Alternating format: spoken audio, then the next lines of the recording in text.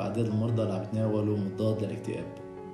خلال شهر 11 قررنا نحصي هالعدد بين من 145 مريض شفنا بالمستشفى في 120 عم يتناولوا أقله دواء واحد 70 عم يتناولوا دوايين و17 مريض كانوا عم يتناولوا أكثر من ثلاث أدوية دون وصفة طبية. الصيادلة ما عم يبيعوا المهدئات إلا بوصفة طبية وبنفس الوقت أساساً في شورتج بالسوق يعني عند الوكلاء آه، عم بيسلموا الصيدليات كميات قليلة وبالتالي آه، الكل حريص إنه ما تنعطى غير بوصفه طبيه، الأمور آه، تحت السيطرة وما في أي مشكلة بهالموضوع.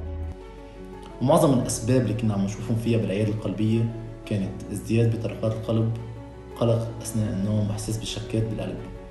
والفئة العمرية الأكثر هي بين 25 ل 40 سنة. الأسباب الأساسية اللي كانت عم تخليهم يلجأوا لمضاد الاكتئاب هو أولا ازدياد البطالة اثنين إحساس بالقلق على المستقبل وثلاثة معظمهم كانوا عم بيقولوا التريجر أو المفعل الأساسي اللي خليهم يبلشوا بالأدوية وبعد انفجار بيروت بأربع آب